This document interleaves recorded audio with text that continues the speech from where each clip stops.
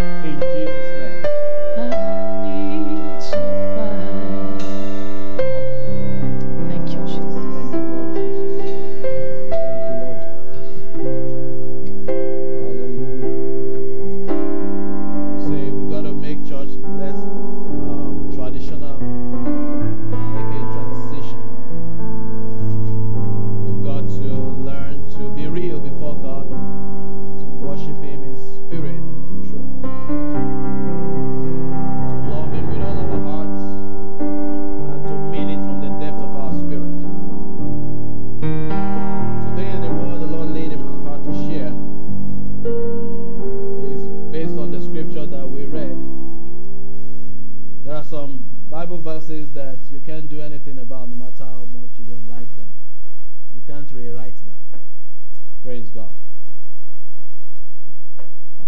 Entering the kingdom is what I'm sharing on today. Entering the kingdom. As we talk about the mystery of doors, because in the kingdom of God there are doors. And God is an opener of doors. And He shuts doors too. Today, we see one of the scriptures where God shuts doors. And it's my prayer that there will be no one in this place who will be outside when the door is shut. Because in the kingdom, there is the reality of doors. And in the world we live in today, if you're not careful, you'll be carried away by the regular activities of our days. The things that have looked so normal, the things that have looked like our priorities, but they have only looked like our priorities, they are not our true priorities. The, the things we have lived without, and now it seems like we cannot live without them. The things that we will live without, whether we like it or not someday, but right now it looks like we can't do without them. We get carried away by those and we neglect what is God's own priorities. We forget God's own priority, the priorities of His own kingdom. God wants me to tell somebody today that you exist to fulfill a purpose. And that that purpose is bigger than you. That purpose is not all about your happiness. That purpose is not all about your riches and increase. That purpose has to do with the kingdom of God. There is a divine design. We are here on earth for a plan and a wisdom. God sent you here that He might through you execute a divine plan, a kingdom agenda that is bigger than you yourself. If you are going to set an agenda, you will never think of this agenda that God wants to fulfill with your life. But you see, in the midst of what we call the matters arising in our life, the, the matters arising of what to eat, the matters arising of what to drink, the matters arising of our relationships, who to please and who to love and who to go with us in all of our lives. God's eternal foundation stands sure still. Remember, the Bible says the foundations of God stand, stand still. He said, having this seal, let those who name the name of God depart from iniquity. I tell you today, there are still things you must depart from. If you are going to fit into the kingdom use of God, there are things to let go of. Because there's something called fitness in the kingdom. Praise God. And I want you to know also that God will never abandon his agenda to pursue your own emergencies. God will not abandon his own kingdom agendas to pursue your own emergencies, especially your matters arising through your anxieties and compromises. God's purpose today look to have been hijacked by various forms of things, including religious forms things that look like God, that speak like God, but it's not God. The things men run after that looks normal, it looks divine, it looks spiritual, it looks churchy, but it's not God. And sometimes, and unfortunately, many of us are satisfied with having these forms even when God is not in them. The Lord wants me to sound a cry this morning that the foundation of God still stands still that there is still a door that grants people access into the kingdom of God. There is a door. The kingdom of God has an entry point. The kingdom of God has an entry point. There is a door. Jesus himself stood and said, I am the way, the truth, and the life. He said, I am the door of the sheepfold. So no one that comes, so those who came before me, they were thieves and robbers. There's only one way to this sheepfold. There is only one way to this kingdom. Even though in the kingdom, there are many doors, but there's only one door into the kingdom. There is only one way, only one door that determines whether you are in or you are out. Praise God forevermore. You enter a big compound that has a main entrance and then that has another door. You can be through the main gate and still be outside. Is that correct? But I say door that determines whether you are inside or you are outside. Is the main entrance. Praise God forevermore. With this door, you are either in or you are out. You cannot be in and out. Many of us need to examine ourselves today and ask yourself, are you in or are you out? If you are in and out and it feels like with your life, it seems like you are in and out, you are in the wrong place. And it's not too late right now to find your way in to the kingdom.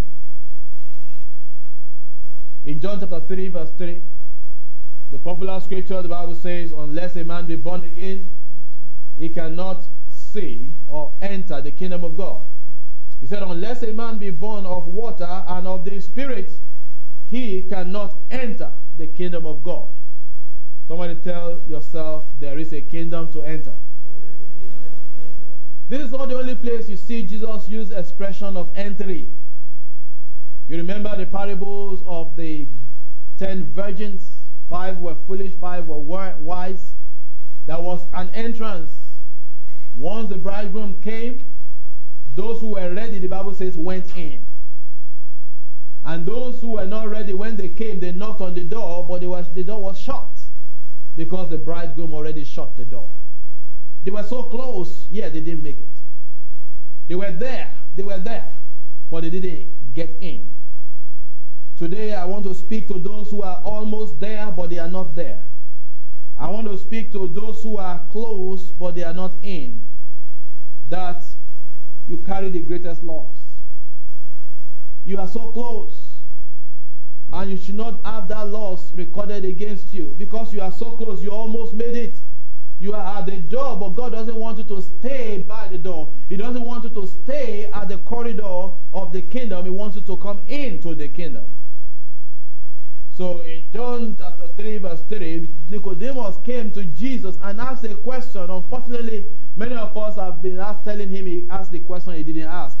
Nicodemus did not say, What must I do to be saved?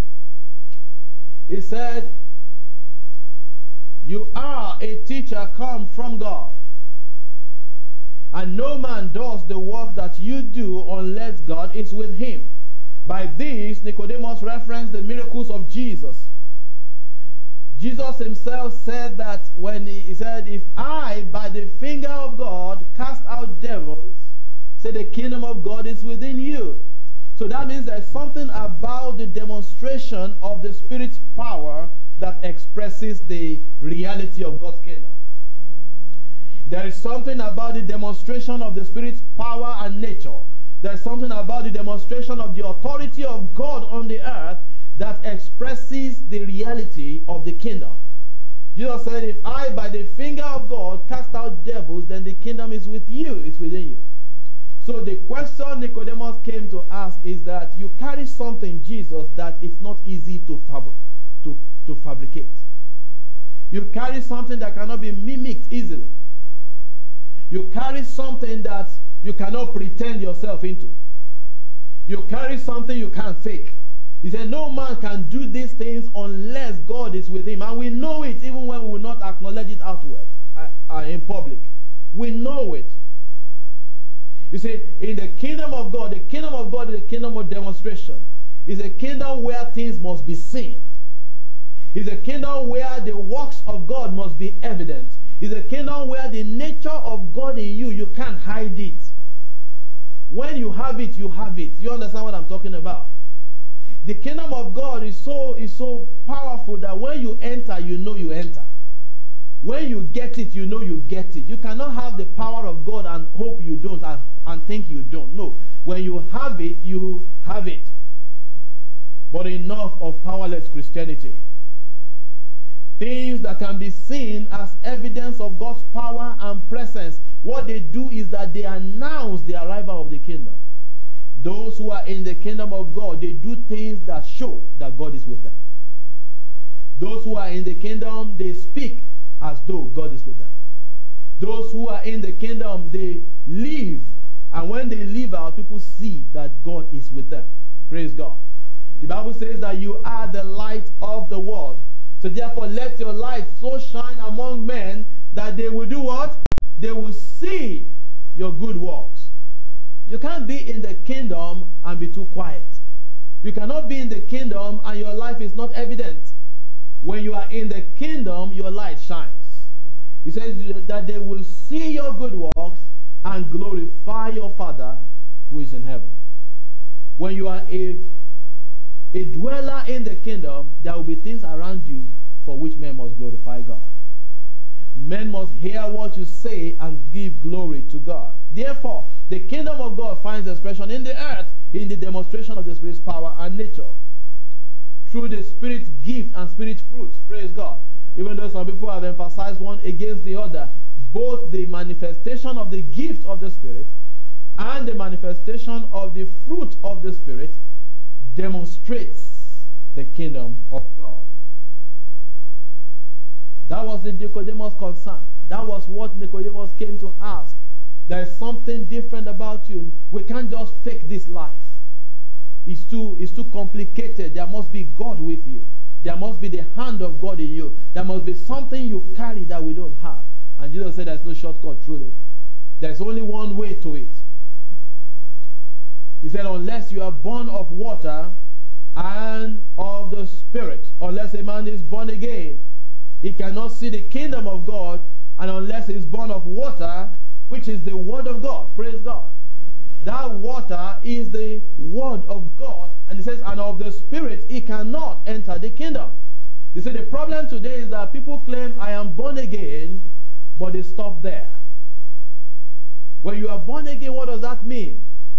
He said, unless you are, he said, well, you are saying, unless a man is born again, he cannot see the kingdom.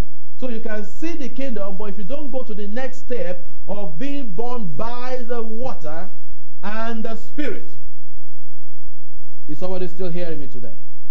Unless you are born by water and the spirit, what does it mean to be born by water? That water, I say, is the word of God. In John chapter 15, verse 3, Jesus said, Ye are clean by the words that I speak to you. What does that mean? That means they are washed by that word. Ephesians 5:23 talks about the washing of water through the word. How Jesus, that's how Jesus prepares his bride, his church. Glory to God. Jesus does not stop preparing his bride because they are born again. He continues to prepare them by washing them by the word. Is somebody catching that now? He continues to prepare them by washing them by the word. He said, We are washed by of, of water through the word. And then Titus chapter 3 says, by the washing of regeneration and the renewing of the Spirit. You must understand how the Word and the Spirit works together to produce a kingdom man in you. The Spirit and the Word work together in our life to produce a kingdom woman, to produce a kingdom person, to produce a kingdom church. Hallelujah. That's why you have seen a, a, a lopsided believing or lopsided Christianity where some people emphasize the Spirit more than the Word and some emphasize the word more than the spirit. Is that correct?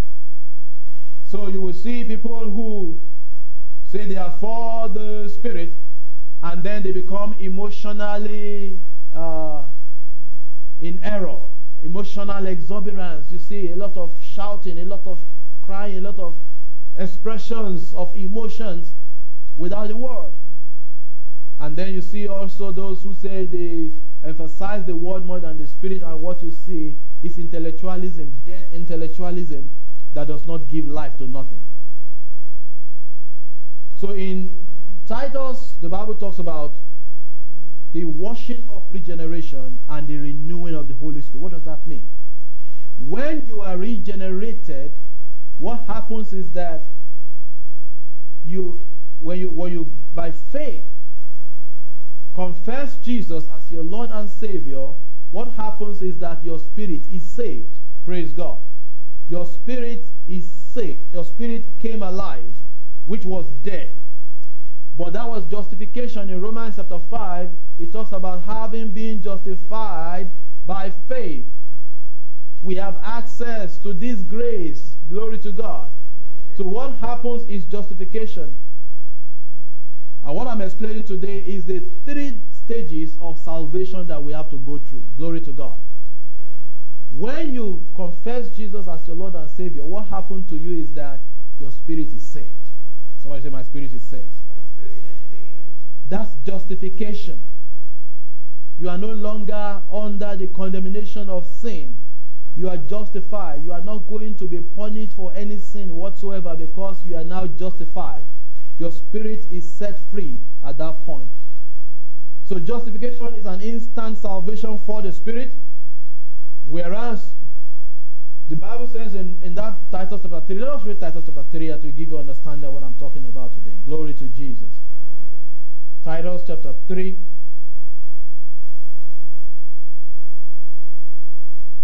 Thank you, Lord Jesus. Let us read from verse, I love to read almost um, the whole scripture.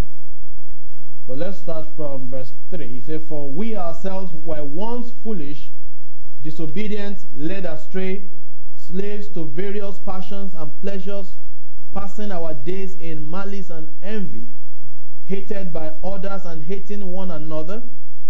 Say, but when the goodness and loving kindness of God our Savior appeared. What did he do? Verse 5. He saved us, not because of works done by us in righteousness, but according to his own mercy, by the washing of regeneration and the renewing of the Holy Spirit. Praise God. So, how does he save us? He saves us by the washing of regeneration through the Word. It is by the Word you are regenerated. What that does is that it regenes you, it recreates you. Praise God. That's why the Bible says, if any man is in Christ, he is a new creation, a creature. You are a new creature, a new kind of being, a new species. Because your gene has been re engineered, to use modern terms. Praise God. Your gene has been changed. You have a new DNA in you. You don't talk like you used to talk. So you don't have to behave like your natural father anymore. Amen. Because now you have a spiritual father. Somebody say, I have a spiritual father. Somebody say, I have a spiritual DNA.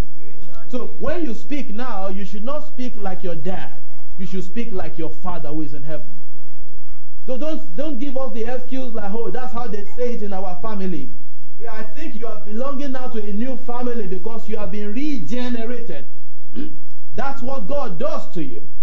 so when He saved us, the Bible says He saved us by the washing of regeneration and the renewing of the Holy Spirit. Praise God. So the renewing of the Holy Spirit means that the Holy Spirit in you has come to continue to renew your mind, to reset your mind. We have talked about that during our Bible study. To reset your mind because you have been programmed in the wrong way. You have been programmed in a way contrary to the patterns of the kingdom. You have been shaped by the school system, for real. You have been shaped by the media. When God looks at you, He's wondering where you are from. Because this is not the way He made you to be. Do you understand what I'm talking about? Because of our fallen nature, we begin to, we had a new teacher, wrong teachers.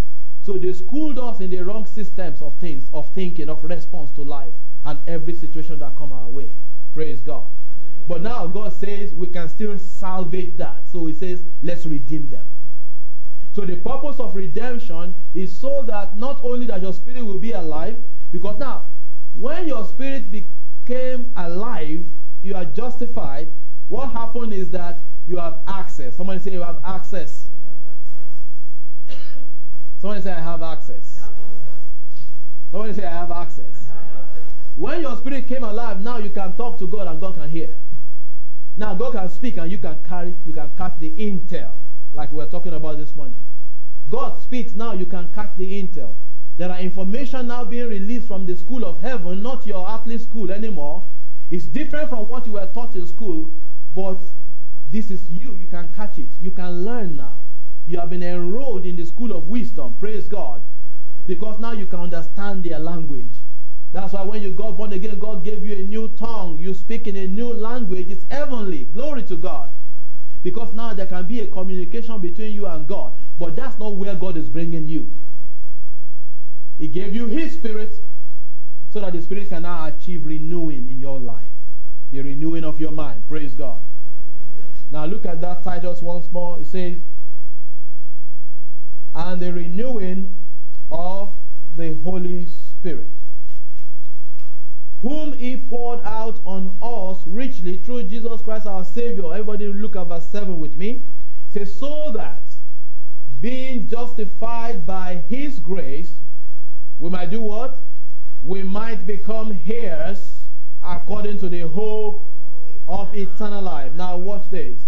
Let's think in terms of past tense, present tense, and future tense. Is somebody with me now? So, we have been saved according to this scripture, true or false? Is that present or past tense? Past tense. We have been saved by the renewing, by the regeneration, washing of regeneration, and the renewal of the Holy Spirit. Amen? But now, what is it that we are yet to accomplish in this scripture? Verse 7. It says, so that being justified, being justified means that a completed past tense. You know, it's a, it's a, they call it a past participle or the, the, the being justified does not mean that it's a continuous experience. It means that having been justified, that's what is a, is a completed one in the past. Okay, praise God. And so, having been justified by grace, so what is the future thing that will happen? We might become, praise God, we will be made Glory to God. So that we should be made. That's the one that has not yet happened. And you got to hold it. Amen? Amen. You got to become it. So to become heirs means that you come into a point where everything that is God's becomes yours. Everything Christ has access to becomes yours. You become co-inheritor. Hallelujah. Co-inheritor of power, dominion, and authority co-inheritor of the whole essence of God, the whole nature of God. Hallelujah. You see, where God is taking you is more than just make you saved, get you out of the street, and bring you to church. No, He wants to bring you into the kingdom. Don't stop at the church level. You got to press in into the kingdom level.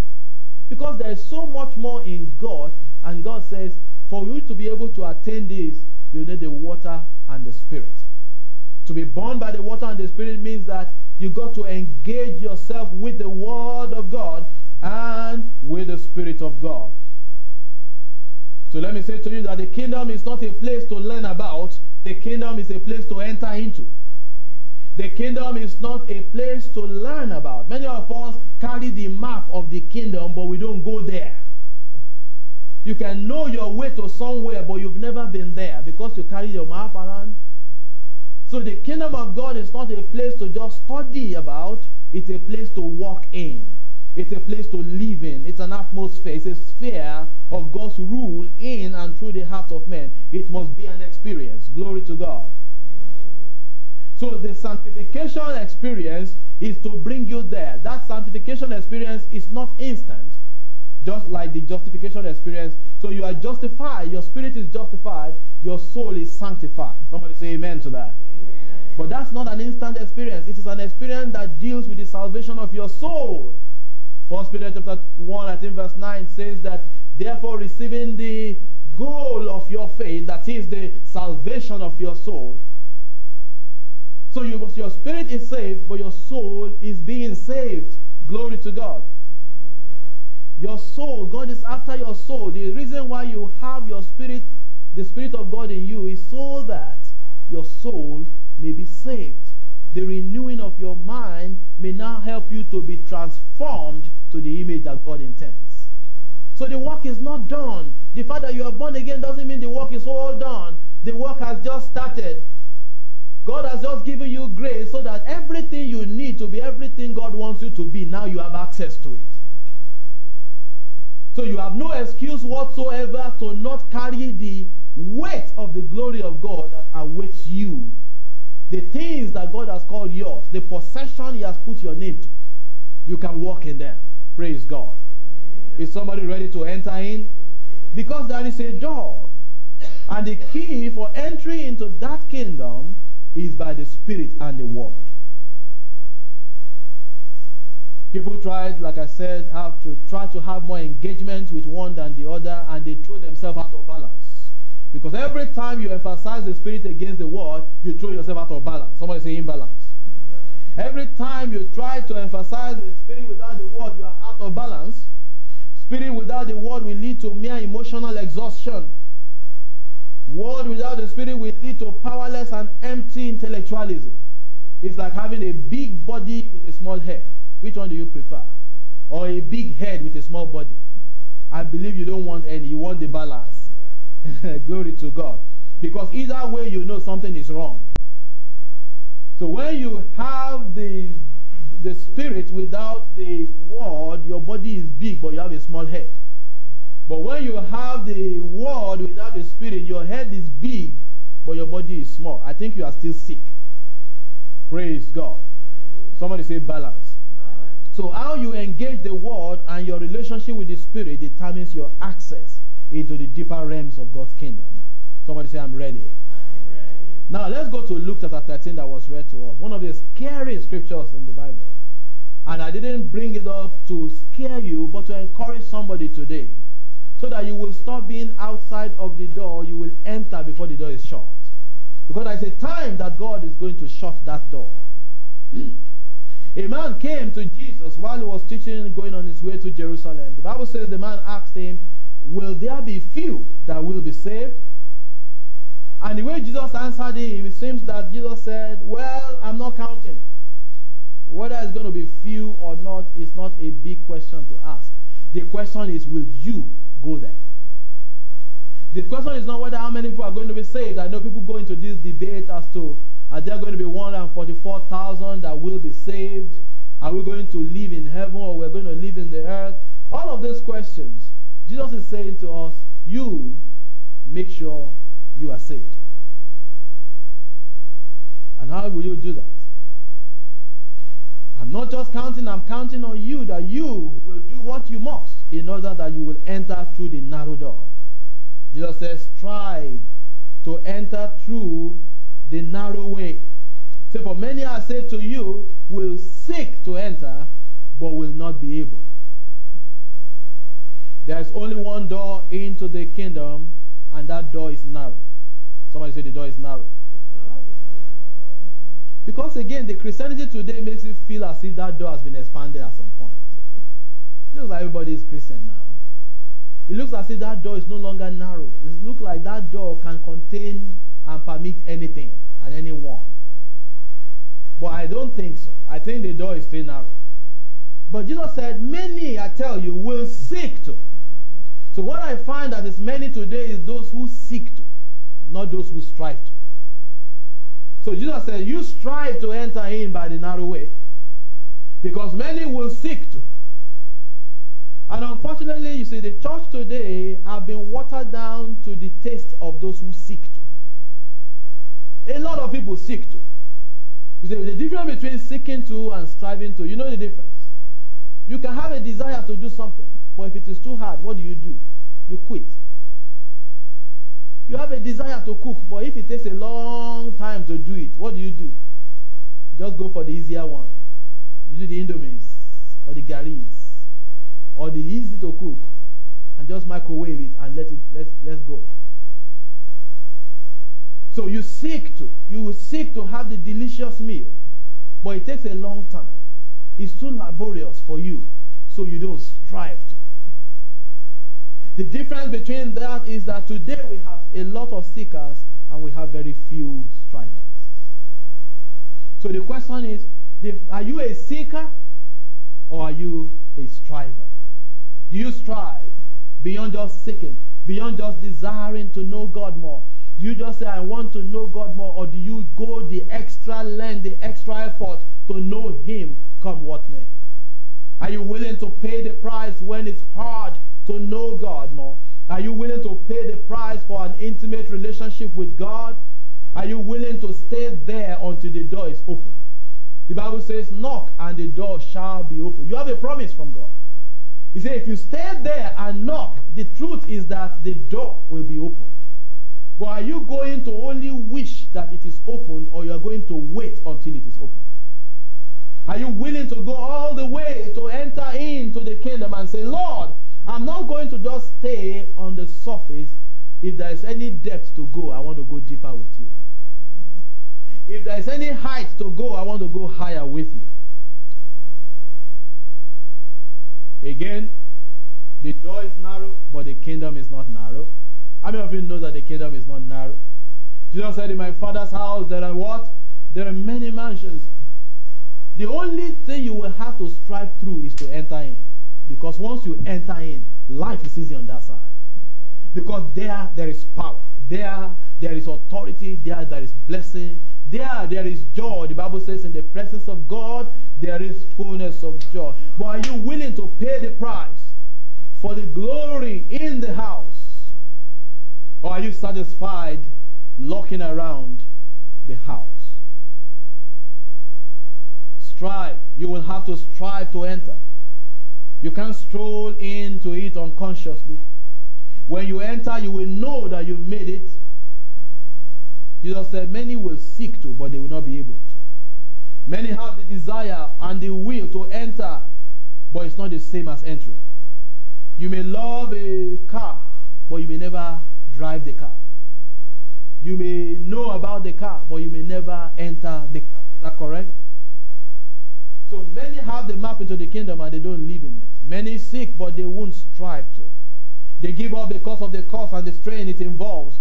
They are so close to the door, but they never put in the extra effort. They never put in the sacrifice it takes. They never give away and give up the things it takes for them to have the door open unto them. They knock, but not long enough. They knock, they knock, but not long enough until the door is open. Jesus said, I tell you, say, but when once the master of the house gets up, what is he going to do? He's going to shut the door. Someone says he's going to shut the door. There is a season of time when God is going to get the door shut.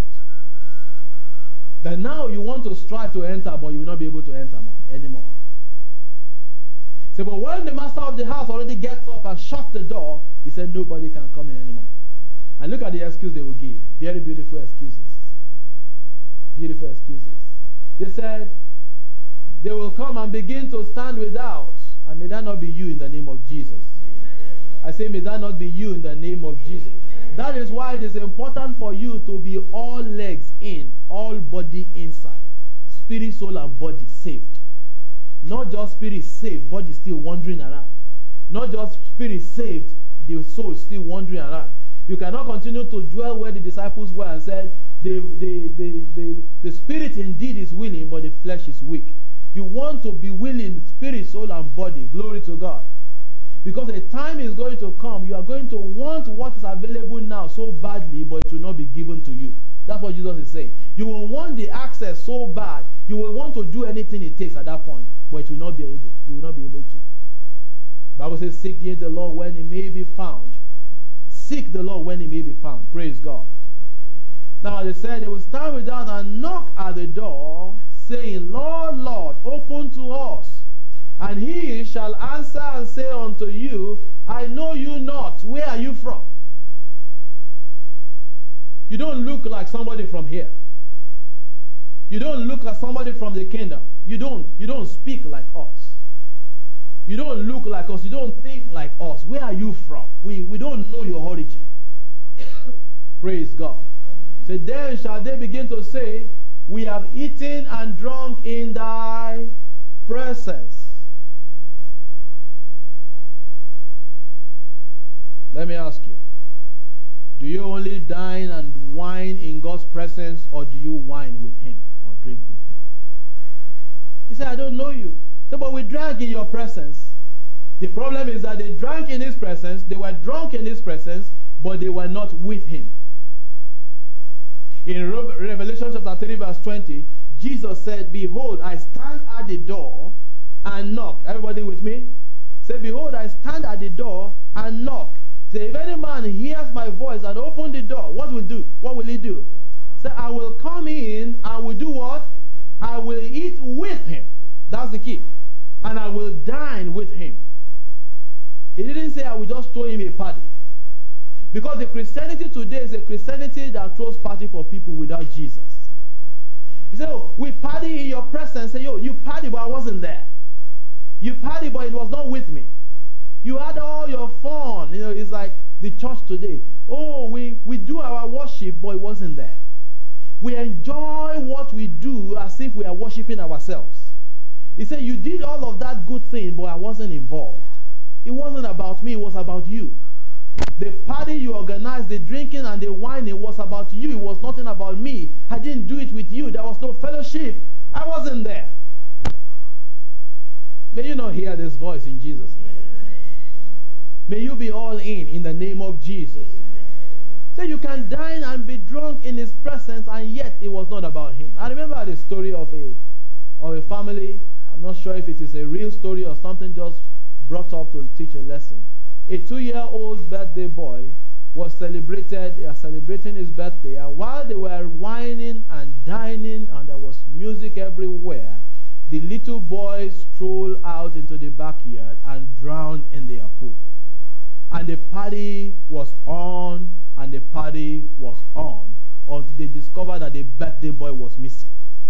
I see a church today who throws party everywhere, but the birthday boy is missing.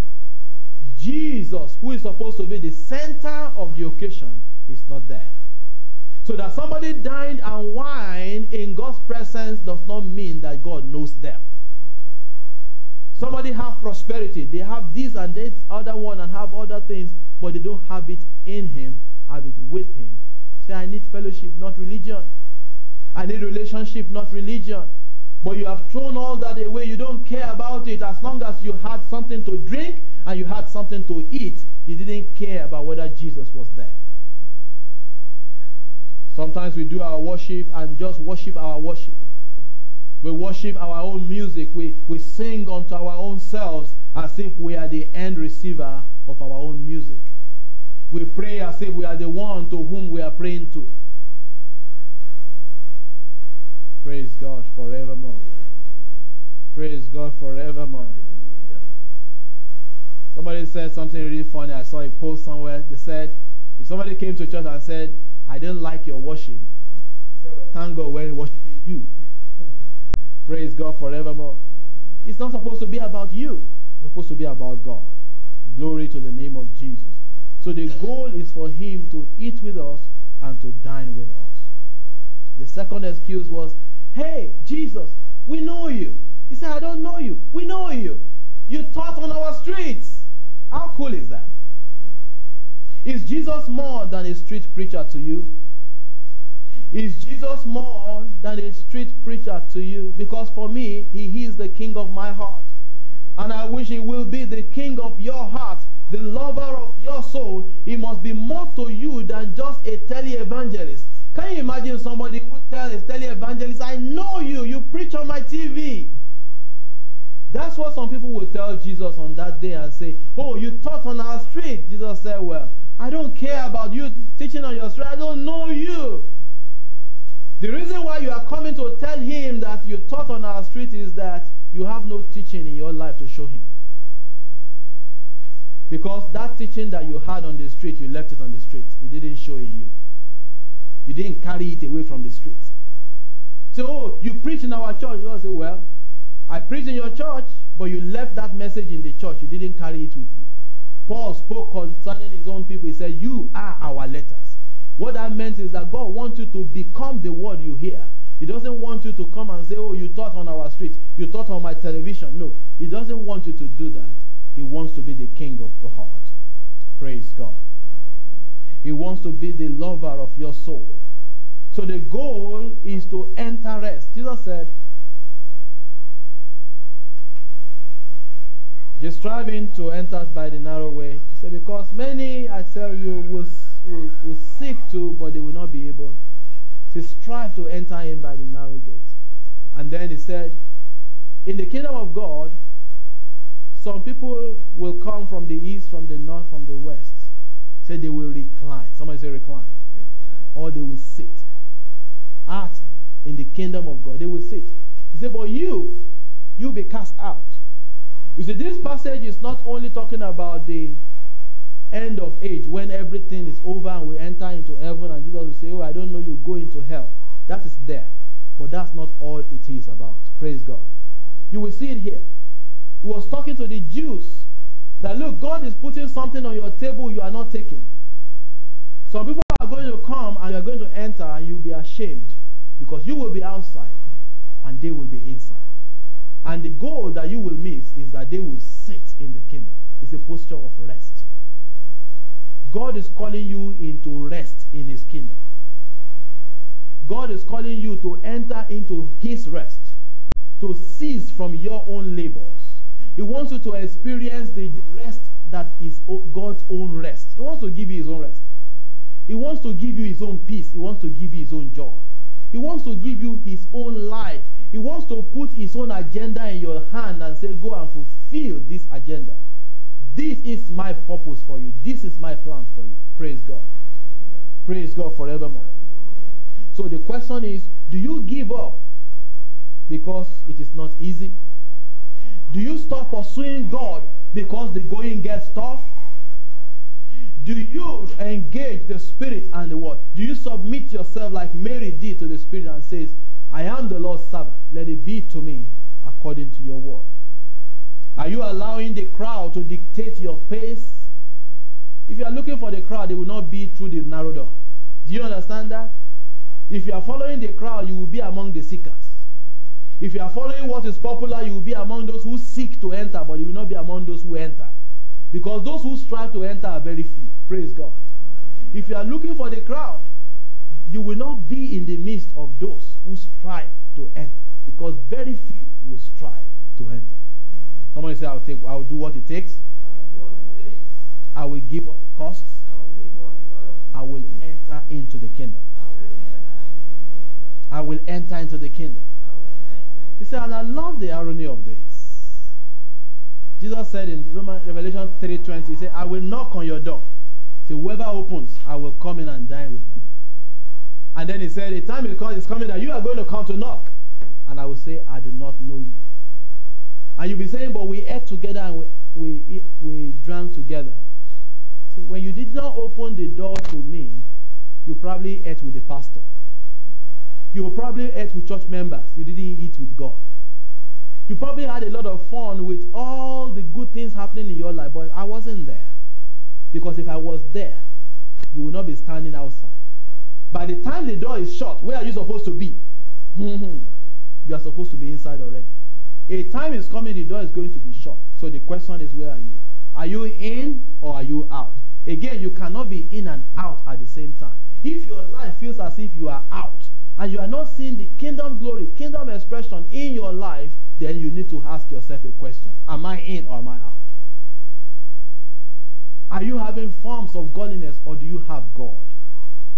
Does it look like you are hanging around the properties of God, but are you inside the house of God? Are you in the kingdom or you are just in church? Let us bow our heads as we pray together. There are doors in the kingdom. That is the door that determines whether you are in or you are out. If you are in, Jesus wants to fellowship with you. If you are in, He wants to wash you by His word. He wants to build you by His word. He wants to renew you. He wants to wash you by the word. If you are in, He wants to fellowship with you by His Spirit. Will you pray to God right now? Lord, help me. Lord, help. Draw me, Lord. Draw me in. I want to be in. I want to be with you. I want to worship you. I want to serve you. I want to fellowship with you. I want to eat with you. I want to be in a bond with you, in union with you. I want to eat everything you have at the table for me. I want to take your offer. Everything you have to offer, including yourself, I want it. I do not want just some, I want all that you have to offer. I will not just give some of me away, I give all of me to it, Lord. I will not only seek, I want to strive. When it involves some strain, I will give it. When it involves a cost and sacrifice, I will do it. Because the strain is only at the door, the strain is not in the kingdom. Because once I get into the kingdom, I will forget all the pains and the strain. Because there's bounty, there's abundance, there's authority and power and glory in the kingdom. Lord, help me. I want to come right into where you are. I want to be where you are. I want to feast with you. I do not want a feast where you are not. I do not want to eat a food that does not bring pleasure to you. I do not want to engage in activities that you have no pleasure in. I do not want the religion that you are not in it. Lord, I want you and nothing else. I want you and nothing else. If you are here today and the Holy Spirit is saying to you, it's time to come in. I do not know where you are, I do not know who you are, but I want you to be real with God today. It's about you and God. And that day when the door is shut, nobody is going to be there. Your pastor will have to be striving for, him own, for his own self to enter in. And it has to be you and God. And you have to say, God, I want to be in today. Tomorrow may be too late. I want to be in. I want to enter into the kingdom. I want to secure my eternal destiny beginning now. I want to experience kingdom power starting from here.